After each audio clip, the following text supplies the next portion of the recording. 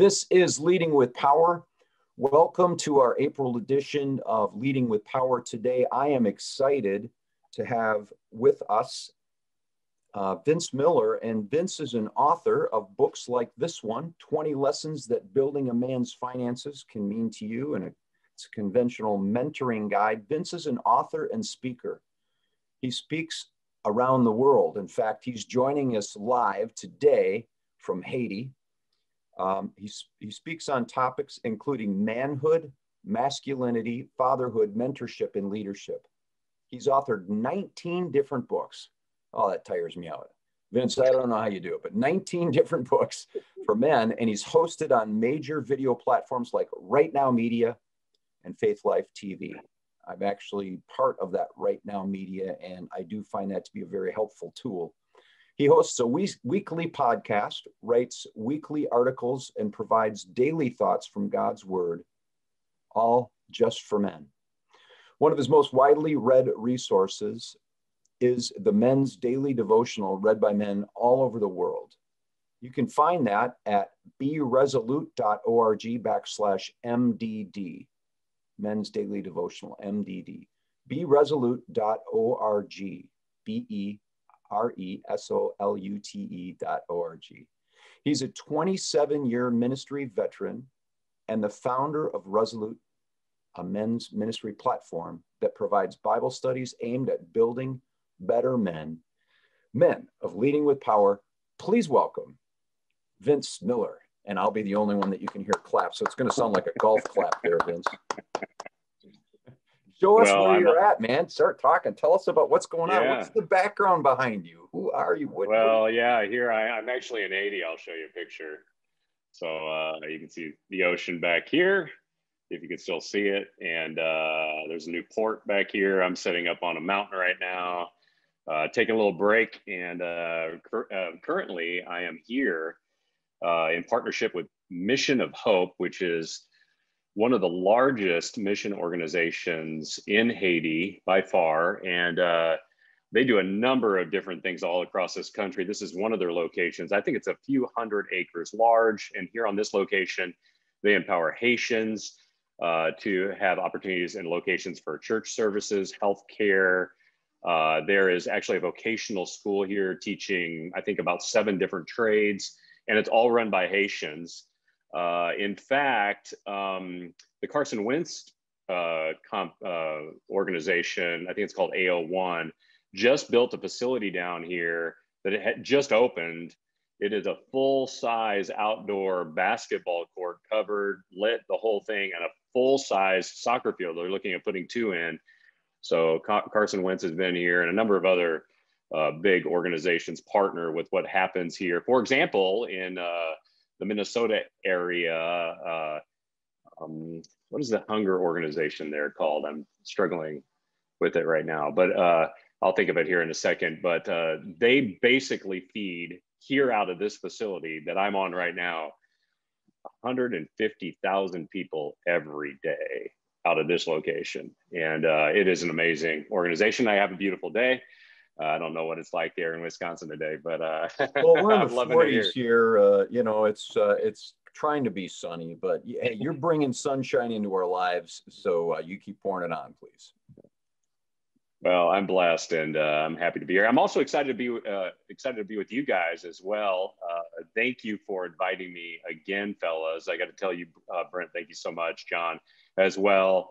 Love you guys. Love what you're doing with Leading with Power. Love that there's guys on this call today. And uh, of course, today we're going to be talking about finances. I'm assuming I can carry that away now. Yeah, absolutely.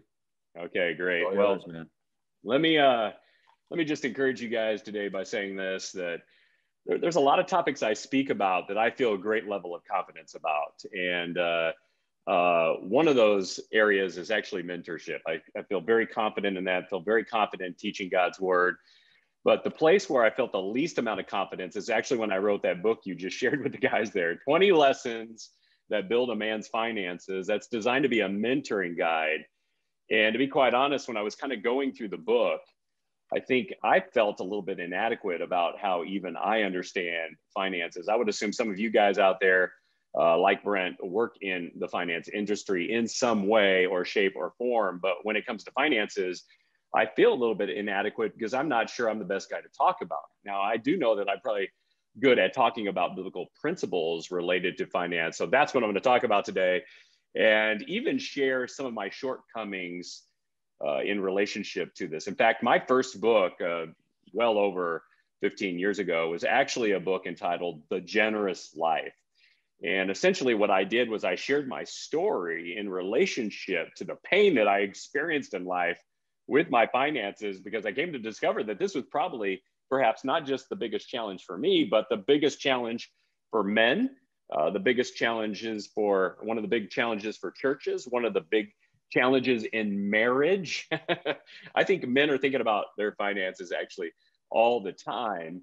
And even as I, I was preparing this talk, guys, I started to think a lot about what are some of the principles I've learned over uh, you know, the last few decades of my life and being a follower of Jesus Christ related to the area of finances. So today, uh, I'm actually doing a very original message uh, that has really been close to my heart. I have never shared these principles this way with anyone ever. So I'm really privileged to be able to do that here today with you guys at Leading with Power. So I'm going to share with you a few principles, actually seven of them, that I have learned about finances the hard way in my life. And so, if you guys would just take a second and maybe share with me in the chat dialogue just one principle, one principle, a biblical one at that, that you have learned about a man guiding your finances in life. I'd love to hear that right now. I just kind of want to see it here because I'm going to share with you seven today that have transformed my life. And I'm going to try to find a verse that relates to these or a story from the Bible and also part of the tension related to that. So let me guide you through these seven principles. Now, the first one is this I call it the, the principle of the provider. And uh, often when I'm thinking about the principle of the provider, I'm thinking about who is the provider.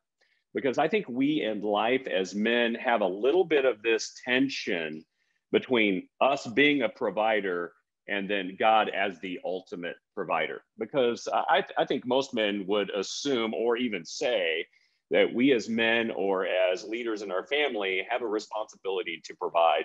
But I also believe that there's a limit to that provision. There's a limit that we hit eventually that helps us to really understand that there is an ultimate provider and that he's providing us the resources. So the story that I always go back to, of course, is the biblical story of Abraham and Isaac.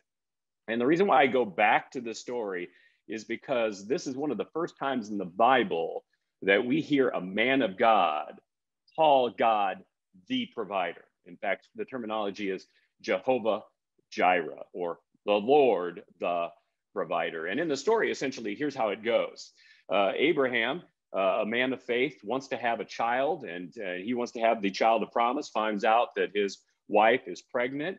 God gives him that child gives birth to that child, the child grows, and when that child becomes essentially a young man in their understanding of young men, God calls Abraham to do something ridiculous. And, and you need to know this. Abraham, up until the moment that God called him, uh, was really a pagan man that grew up in a pagan country. If you really know his history well, you'll understand that he grew up under pagan parents in a pagan land with a pagan history. But then God spoke to him one day and he was obedient. That's what makes Abraham really that the I, I, think the ultimate example of faith. But I believe that there was a reason that he was the ultimate example of faith because after God made this promise that he was going to give him a child, a child of promise, God then challenges Abraham to do something that just absolutely seems ludicrous in my mind as a father, maybe in your uh, mind too, as a father. He asked Abraham to take his son up to a mountain and literally sacrifice him, offer a human sacrifice to God. Now, we know in the story, if you read the story, that Abraham does take his son Isaac up to Mount Moriah, which eventually, eventually becomes Jerusalem, uh, and eventually is a place where Jesus Christ himself was sacrificed by the hand of God. But, but, but Abraham is very obedient to the call, takes his son up to the mountain, is about to swing a knife at his son, and God stops him. And God stops him and provides for him a ram caught in the thickets. And God tells Abraham to not offer a human sacrifice, but to offer a ram sacrifice to him. And essentially, what Abraham does is he names that place and his God, the God that provides. And while we get really entranced by Abraham's faith, in fact, Abraham is called the father of faith for this instance and this moment of faith, we have to look at the object of faith too. And it's the very fact that Abraham actually believed the entire way up the mountain that the Lord was going to provide, that Lord was going to provide in some way, even as we read the New Testament, that the Lord was going to provide some way, but the way the Lord provided was by providing an animal sacrifice. Therefore, Abraham doesn't offer the first human sacrifice. The person to offer the first human sacrifice in all of Christianity was actually God, who offered his son on that same GPS location thousands of years later. So why I tell you the story and why I think we really need to understand this defining moment is because when I think when it comes to finances, we deal with this tension. It's a tension of understanding, do we we provide or does God actually provide? And there is an element of provision where Abraham actually did provide. He did provide by doing the good work of going up the mountain. But then there's this moment of trust where we have to believe with our finances and with all the resources that we have that God is going to intervene and provide. And I think men struggle with this sometimes because we're too much in the process of provision. This has perhaps been, I would say, of the seven lessons I'm going to share with you today, this has been the hardest because I feel that I, as a man, so many times feel that I should be the provider, that I should possess, that it's my responsibility to do that. And sometimes my responsibility to provide gets in the way of God actually providing in a miraculous yeah. way in our life. If, so if there's a big tension in, there. Yeah, if I could jump in right there, uh, Vince, uh, this is really good. Um, I just appreciate you sharing this so much. Um, your grandfather really impacted you and brought you to the place where you're full time as a speaker and author, and you travel around the world teaching men and mentoring men. So you live in this place where you're you're operating by faith. So you're obviously bringing support in to help you with what you're doing. You're trying to build a charity. You're trying to write books and get those published and sent out and distributed around the world. So, how does that work for you? Where uh, things are tight, and uh, and you're asking God, you know, God, you called me to this, and where's where's the provision? So help help us just get a little reality check on that. Help us to understand how it works for you as somebody who uh, definitely has to live in that way for for in, in a sense to make a living. Help us. Yeah, exactly. So as it relates to the nonprofit that I lead, uh, I think you ask a very honest and a, a very you're asking me to draw on that transparency, and I appreciate that. So there's a couple of things that I recognize. Uh, first off, it's that there's going to be times that actually the work that I do generate the rev generates revenue for the organization so that we can do what we do. But there's also the tension of not allowing revenue to become a god to me. On the other hand, there have been moments where I've had nothing, literally nothing in the account, wondering how I'm going to make it the next day. And then God miraculously provides it's the tension, I think, Brent, between working hard and giving an effort, but not allowing that effort or that thing or that resource to become God so much that I clench my hands. I call it closed handedness But what God may want to do. And I've got to live in a very open handed way in my relationship with God, understanding that any moment He may take something from me to remind me He's the provider, or give something to me to remind gotcha. me he's the provider. So that's what I wrestle with yeah. every day. I wish I I wish I could tell you I have this one solved, but I actually don't think God wants us to solve it because I think he wants us a little bit on edge, not to irritate us, but to get us to trust in faith with him. And that's the point of the, the story with Abraham, right? Is that really it's about igniting faith and the object being God. And as long as we're igniting faith and the object is God and not money or things or possession or identity, right? it, we're we're probably living between those two tensions really well. All right, let me take you to principle number two, and and and the principles are going to get a little simpler along the way. But principle number two is the principle of trust in anxiety. The principle of trust in anxiety, and this was this was this is a big one for me too because I'm an anxiety guy. I'm just going to confess that to you, Brent and guys. But uh, uh, there's there's there's a section of scripture that's been very very meaningful for me in this way. It's actually from Matthew chapter six, and it goes something like this. Uh, Jesus says something like, what shall we eat or or what should we drink or what should we wear and we have all these concerns right about things of this life and then he says something to the nature of gentiles seek after these things as, as to be a little bit condescending about eating and drinking and wearing right? I mean these are basic necessities too. But he says to the guys he says basically but but but and whenever jesus says that i pay attention. He says but seek first the kingdom of god and his righteousness and all these other things will be added to you. And then he says therefore do not be anxious about tomorrow.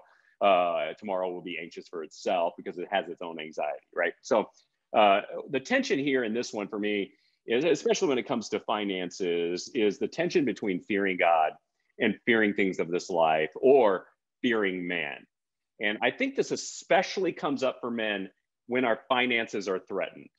Okay, so this is one level of that. We have anxiety. And let's just be honest with ourselves. We do have anxiety about finances.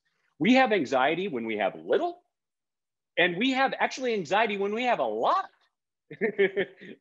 I think we actually have anxiety on both sides of the fence. But do we really truly have anxiety about God? And when I think about anxiety, I actually think about fear. And I think there's two types of fear there's fear of things in this life, and then there's fear of God. And fear of things in this life drives away, unfortunately, fear of a holy God. And fear actually is a good thing because fear produces change. But then there's this holy concept of fear, which breeds reverence. And that's why we experience anxiety. So I think when it comes to finances, sometimes I experience anxiety because I am fearing things of this life, whether it's I have too little or too much, right? But I need to really turn that fear toward a holy, reverent fear of God back to Him as the provider. When I'm living in that moment, all anxiety drops to the wayside. Yeah, man. I so, I so I so hear you. One of the things I wanted to ask you about is on your hat it says all in. And yes, so we have anxiety when we think deep down in our soul, we think we're our provider, not God is our provider. And if we're not getting it done, we're anxious because, you know, or even turning the trust over to God, like, are you really going to come through here, God? I can probably do this better than you. And He's God and we're not, right? So uh, I hear you completely. So yeah, they're, all these principles are a little bit related, and you're right. This all-in idea right here is about living all in for him who lived all in for me. But we we spent a lifetime really understanding what that means. But guys, I, I just want to reiterate this principle. It's a principle of trust in anxiety. We have to learn to trust when we're anxious and fear God more. Principle three is this the principle of identity. And, and fellas, I can't say how important this is. I want to accentuate this with a, a section of scripture. It's actually a section of scripture from Paul himself. It's from uh, Ephesians 2, if I remember correctly. He says something to this nature. He says, For we are God's handiwork, created in Christ Jesus to do good works, which God has actually prepared us in advance to do, in advance to do. And I think sometimes as men, uh, we, we fail to really understand that God actually is our creator. I mean, if you're a man out there today, you were created by God from beginning to end we sometimes self depreciate, self dismiss. uh, we, we actually try to disassociate ourselves from God, but God never disassociates from us in that He is the creator and the designer and wants us to be in a right relationship with Him and then use those gifts in a way to bring Him glory. But but here here I think is the big tension, right? The tension is this it's the tension, right, uh, of that the tension between what I have, and I really believe, uh, uh, uh, I mean, rather the tension between who we are and who God wants us to be. Because when it comes to our identity, sometimes our identity is wrapped up too much in what we do. this is more true for men than any other gender out there. And I really believe there's only two.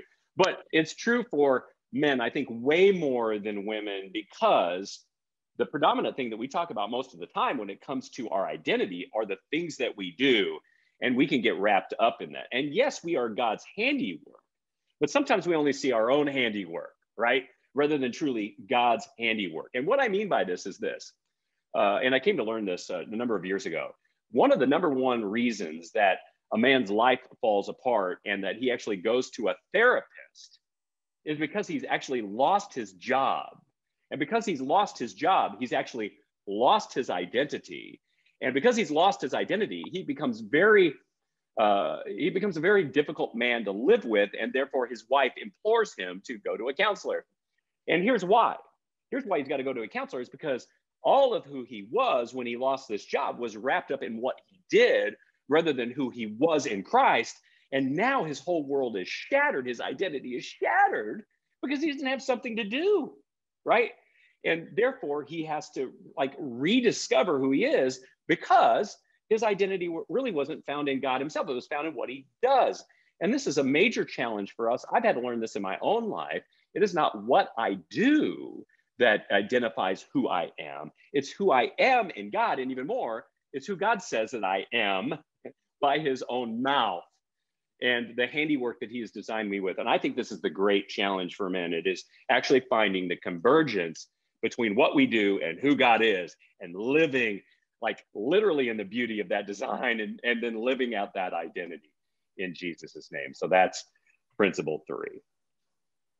Fantastic. Yeah, I, um, I, I'm right with you on that. The identity I've needed to help change in my heart has been helped by reading through affirmations of who I am in Christ. And I've done it every day. I wrote down lists that became longer lists that I continued to read for years.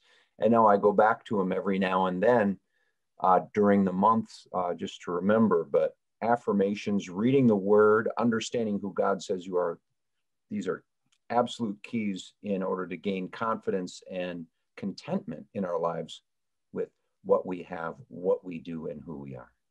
Exactly. That leads me perfectly into principle four. And I call it the principle of enough, of enough.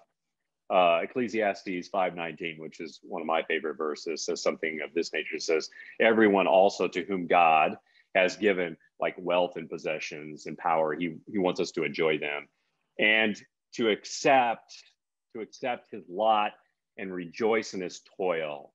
I, I love that verse because it just says that God has created us to enjoy, to really enjoy.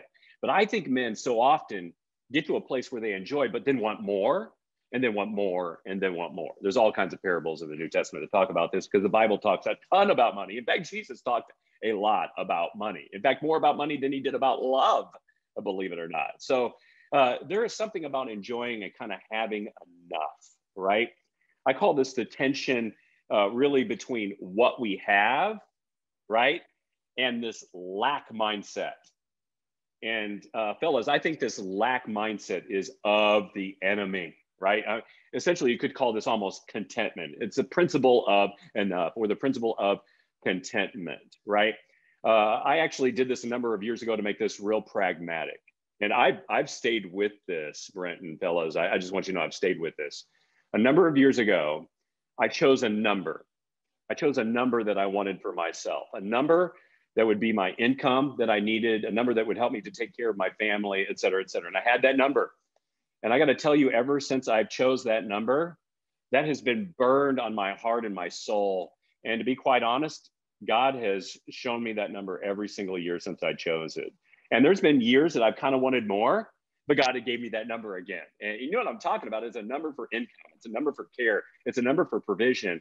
And it's just taken the weight of driving for more and more and more off the table. Now, now get this, while my income has always stayed the same, my impact worldwide has continued to grow. And I love that. Like we can have endless impact without necessarily needing more money. And of course, today I'm talking about money and finances, but I kind of have a number just like people would set a budget, I set an income number, and that's it. And I'm really bad at budgets, so we're not going to talk about budgets today. So yeah, that's, that's really, all. absolutely terrific, John. uh, has a comment for us. He says, uh, What we do, identifying us and not who we are, is very American as a concept. He said, In other parts of the world, it's quite different. Probably in Haiti, it's, it's different where you are right now, Vince. He said that um, COVID 19, the pandemic, has really decimated this and made us all kind of think about what really matters and who we are. Thanks, John, for sharing that comment. Vince, in your book, um, Rules for Finance, mm-hmm. building uh, building a man's finances, and you you mentioned Hebrews 13, 5, keep your lives free from the love of money and be content with what you have because God has said, never will I leave you or never will I forsake you. Mm-hmm. Yeah, I think you know that that is a great principle. You really think about, you know, actually, I want just for a second, since you're talking about Hebrews, let's go back to Paul, who, who we think wrote the book of Hebrews. Uh, he had moments he wasn't content, right? But let's just take this moment that you're talking about. Uh, he's he's written. Uh, he he always had this desire to go to Rome and this vision for Rome, but he was prevented in going. Many of us probably know that. What's fascinating about that that moment that he was actually prevented from going, he felt like man, I really wanted to get there. I'm sure he felt that way. What he ended up doing was actually writing the book of Romans, if you think about it, right? Because he couldn't go to him, he wrote the book of Romans. But think about this just for a second. Because he wrote the book of Romans, he influenced more people in all time, even better than going to Rome. I mean, think about that for a second. I mean, I read the book of Romans this morning, right? And it's crazy. We hold the Bible in our hands today because of Paul. I mean, this is crazy stuff. Sometimes in our lack, uh, if we can learn to be content, God might be doing something in our contentment to increase those resources and that influence in a way that we don't see, but we have to learn to do this with money. You know, the principle is this the principle of enough. Let me jump to principle five. Principle five is the principle of stewardship. And uh, Brent, I would assume because you work with philanthropy, you talk about this all the time. I'm going to get to generosity too, but right now, principle of stewardship. So my mind goes back to Luke I think it's chapter 12, where we start to hear about the, the, the, story of the faithful manager, right? So there's these managers and there's ones that are not faithful and there one, there's one that is. They, of course, the, the, the, the master sets his manager over his entire house, blesses him, gives him a great portion of things from others, by the way. And uh, I, I think this principle from this text really helps us to see the tension between stewardship and ownership. If you go back and read the story very, very carefully, the master of the house, of course, represents God, and the managers are supposed to represent us. and we have different ways we can manage, right? But the manager understands this that he's not an owner of that, so he doesn't hide stuff, he doesn't possess stuff, he's just a steward of it. And fellas, we have got to learn the lesson that everything that we enjoy in this life does not belong to us. We are simply stewards. I think this lesson is really harder for us because if you read a lot of other parables or stories in the New Testament from Jesus, there is literally hell to pay for people who think they possess things. you possess nothing. The principle of stewardship is throughout the New Testament, actually throughout the Bible, this is a very important lesson because this is actually where our faith begins. We begin our journey with Jesus Christ by surrendering to Him all of who we are, and He becomes the Lord of our life, the ruler of our life.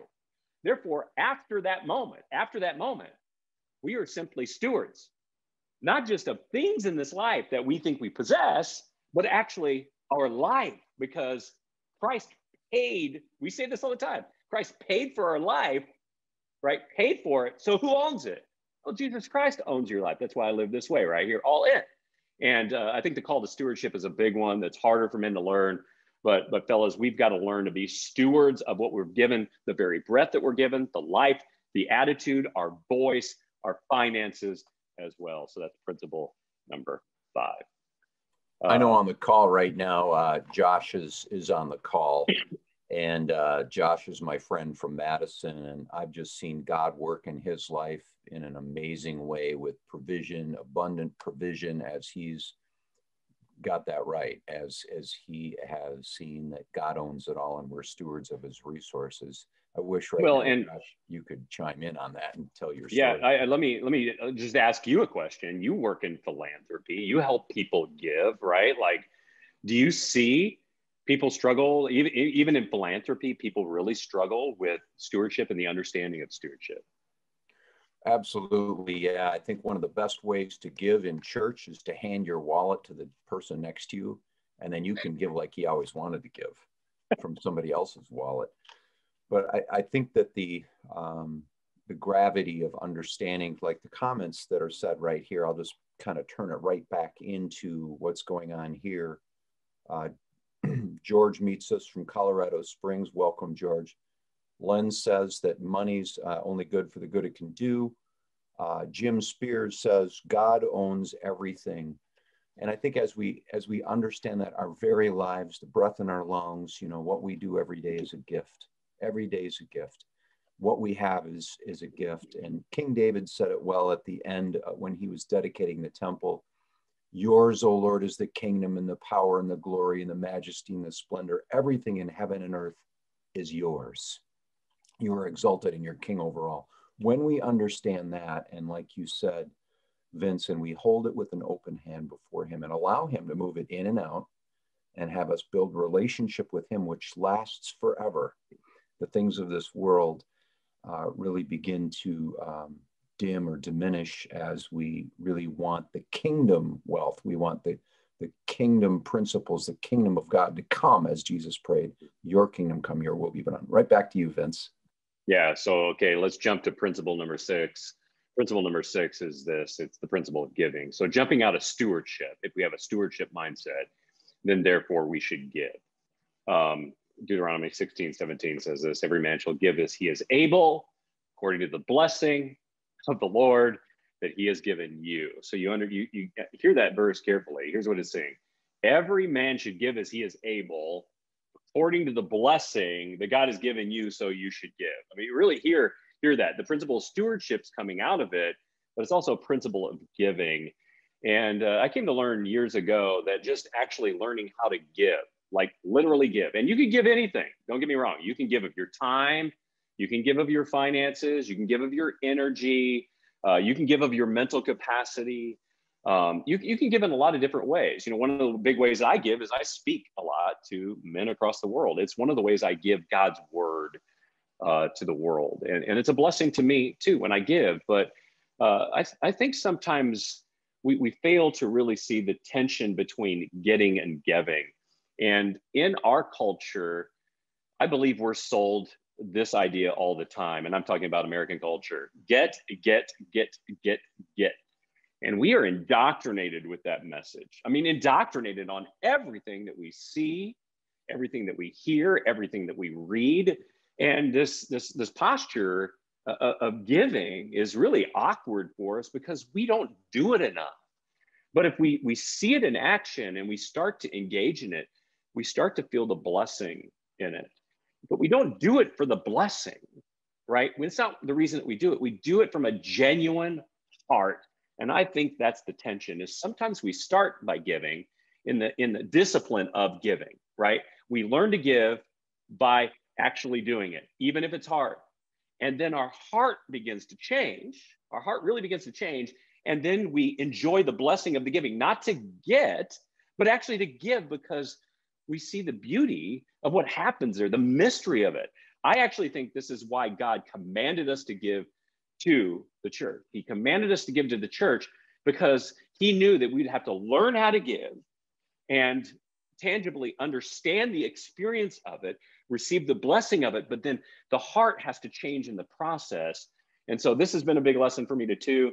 Uh, even even in those hard moments when I know that I I feel like my money may be going to something that I question. I still learn to give because it's more about me being obedient and my heart for Him than it is about what happens sometimes with that gift on the other side of it. Because it, it may not always go to exactly what I hope it will go to or be used in a fashion uh, that would be honoring to God. Uh, this is actually why I give money to beggars that I see or people panhandling. I actually give not just to uh, benefit them. I, I, give actually sometimes just to benefit me and to make sure my heart is always in the right place. Now, some people question that, but I do that out of the discipline of my heart to ensure that always my heart is in the right place. So I think one of the, one of the comments from Joel here is uh, as I read the text, it says, We're not giving, we are not keeping.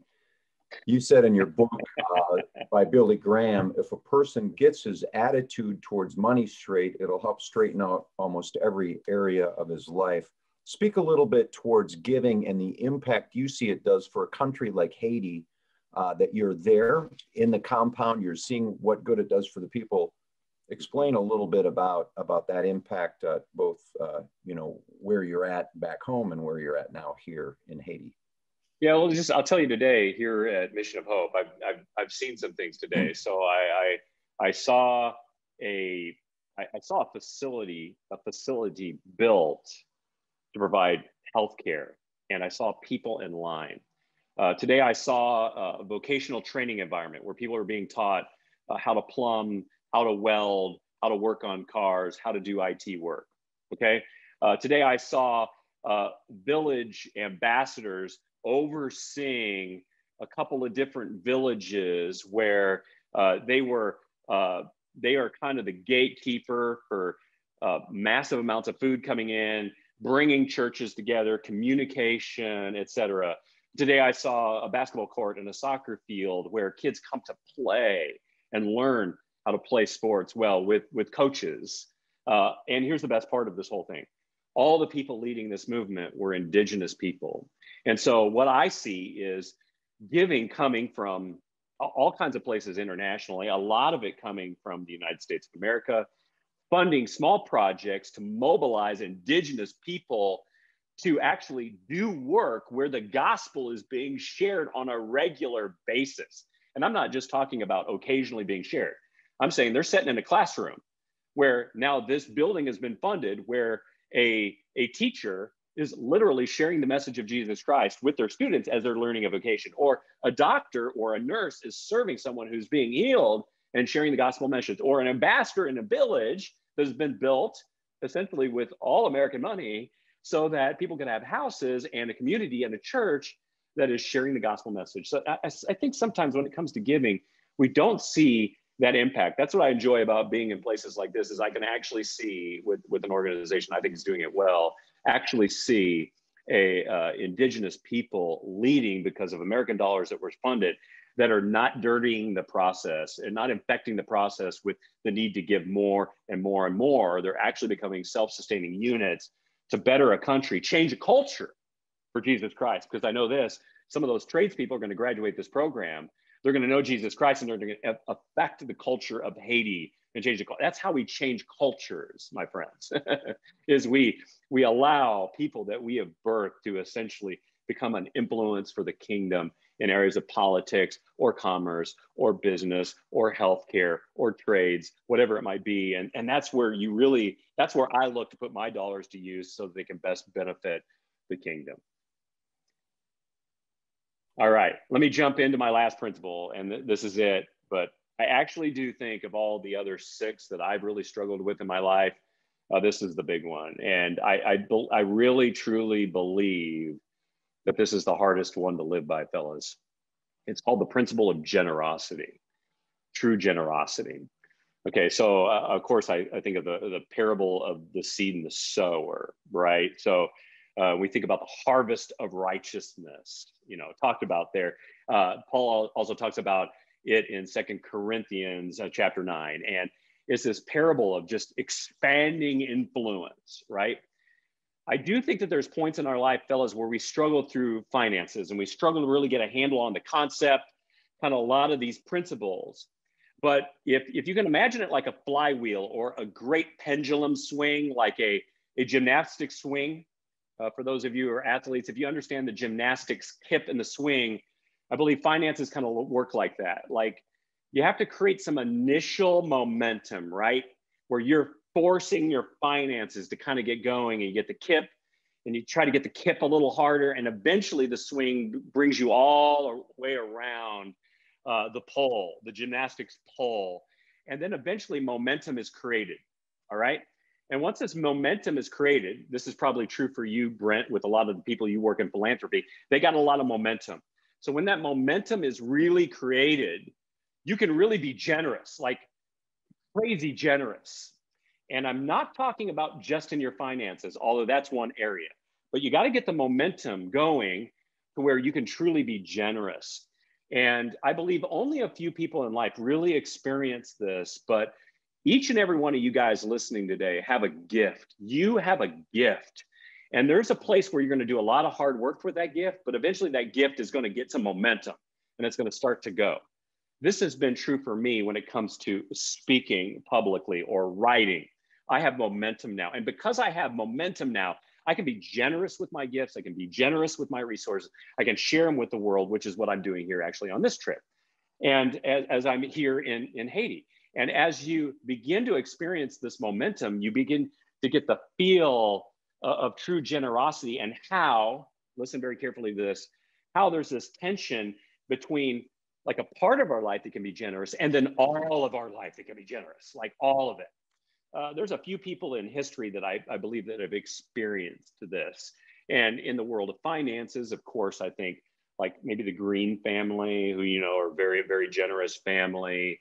Uh, I, I might even start to refer to someone who lives in Minnesota, Mike Lindell with My Pillow. I think he's experiencing a level of uh, a, a, level of, of influence around making pillows. And I'm not just talking about his money, just a level of influence around his industry perfection that has created influence for him in other ways, whether it be politically, uh, whether it be with his faith in writing books, whether it be with like 40 lines of sheets and pillows and slippers and all that kind of stuff. He's just now is experiencing levels of, of generosity where he can do speaking. And now he's building a platform, I think, for uh, freedom of speech. Like it, I just think we hit a place in our life where we begin to see all of our life as something that God possesses, and we begin to see it through the eyes of God.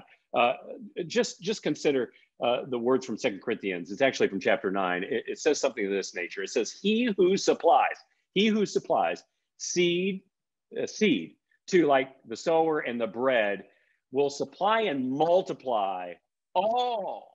your seed for a harvest of righteousness. I really want you to think carefully about that. So he, that's God, who supplied seed for the, the, the sower and for bread for food, he will richly supply you for a harvest of righteousness. Fellows, I believe there's some of you that get this principle. You understand that God has given you something to not just steward for yourself, but to steward for the kingdom. And when you start stewarding it for the kingdom, it starts doing crazy stuff, like crazy kind of stuff. And that's really where I want to end today, Brent, is I really want to end with that one because I think that's the place that's the hardest for us to get to. It's a place where we see everything. Uh, perfect example of this is, um, uh, oh my goodness, what's her name? Uh, uh the nun from Calcutta. What's her name, Brent? Oh, sister. Um. yeah. Why can't I think of her? the nun from. Calcutta. Yes, the generous one who gives to every. yeah, what? Someone write her name in the chat. There, Mother Teresa. Thank you. Mother Teresa. Uh, yes, thank you. Mother you. Teresa. Mother Teresa. Thank you, Alfred. Thank you, John Kelly. From. She's from Calcutta, but I can't remember her name. Anyway, I, I, think Mother, Mother Teresa understood the power of generosity. Her influence was at such a place that she gave all the time.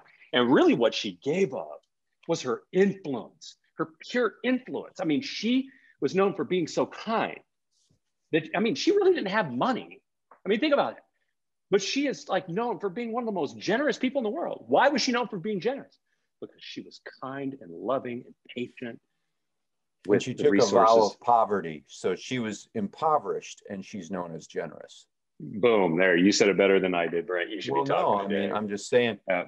In the book, uh, you wrote down uh, the verse that you just shared, Second Corinthians nine six to eleven he who supplies seed for the sower and bread for the for food will supply and multiply your seed for sowing and increase your harvest of your righteousness. And then it ends with, you will be enriched in every way to be generous in every way, which through us, through us will produce yep. thanksgiving to God. and and when we think about Mother Teresa, we have that that gratitude well up in us. I have one quick story uh, just to interject as I hand it hand it back to you, but uh, when I was, I met Bill Bright a couple decades ago during the Jesus Video Project. Yeah. And he had a story to share with us. We were in his conference room. There were 20 people there. Mr. Douglas was in there and Bill Bright was in there. And he said, he told the story of the Hunt brothers from Texas. They gave, at the height of cornering the silver market, they were billionaires and they gave a million dollars, which 20 years ago was worth more than it is today, mm-hmm. to fund the, the Jesus video project, was probably like 30 years ago. Yep. Uh, but he told the story to us 20 years ago. Anyway, whenever they funded the Jesus video project, um, he wrote the check for a million and then the silver market crashed. So he wrote the check out of the abundance and then the silver market crashed and they were no longer billionaires. And what Bill Bright said to us was that the Hunt brothers' only regret was that they didn't give more. When they yeah. Had, they didn't give more out of the generosity of her because they gave a lot, and there's many people that came to Jesus through the Jesus Video Project. Uh, but, but well, it's one of the most it's one of the most influential projects of all time. Like I, what happened with that project is still today the most influential project of all time. So yeah, spot that, on, great story. You know, like like the uh, the, uh, the, the chosen thing with you know 11, 11 million through crowdfunding, one of the most successful crowd crowd funded projects with uh, I guess you could say a new uh, dramatic television series about the life of Christ and his disciples. Uh, also these days is now gaining traction and is highly recommended to watch. Rob Zum asked this question to you, please, Vince. He said, when serving in the mission fields overseas, how do you overcome the language and cultural barriers to effectively communicate with indigenous people? Great question. Uh, I have a translator with me.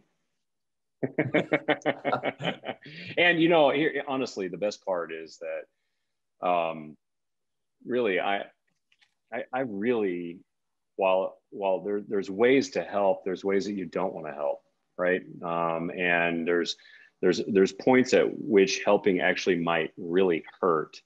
Uh, I actually believe, to some degree, from the stories I've been hearing today, that the pandemic has essentially cleaned out a, a lot of American mission industry here and then forced the indigenous people to, to rely more upon themselves, which I think actually is a very, very good thing um, it, it, might actually resurrect a new day and a new movement for the people of this culture. And uh, it's, it's super exciting to me. Um, so uh, how, how I overcome some of those barriers, they're, they're, difficult, especially, you know, right now I'm in Haiti, which I would say the formal language is French, but the, the common language is Creole. I don't speak either one of those languages. I do provide my daily Devo in the French language, but I, I'm just not sure it's that helpful I know that right now uh, Vince's uh, picture just froze a little bit, so I'm going to ask a, a, question from Bill Ray. Bill Ray says, asks this question. He asks, is your book on finances conducive for an 8 to 12 uh, Bible study for men? And the answer is yes, that this is actually built to uh, build community. And Bill, uh, when I asked Vince, uh, during our preparation for today's call, I said, What's the number one thing you want men to do? And he said to me, Have men talk with other men. If we can have men talk with other men, that's really achieved uh, his goal. And this book is one that can do it. At the end of today's uh, lesson. Um, oh, John Kelly says in Wausau, we have a weekly short study using Vince's book already. So in Wausau, get in touch with John Kelly and he'll hook you up with that. Um, I'm also willing to lead um, not eight to 12 weeks, uh, Bill Ray, but, but three lessons uh, from the book. We can get the book out to you. And uh, again, you can go to uh, beresolute.org uh, for that and uh, and he'll create a a code, a coupon code for 15% off. So I will let uh, Vince kind of conclude with that. So yes, Bill Ray, this book is conducive for that. At the survey on the way out after the webinar, excuse me, you can answer the question and we'll get back in touch with you.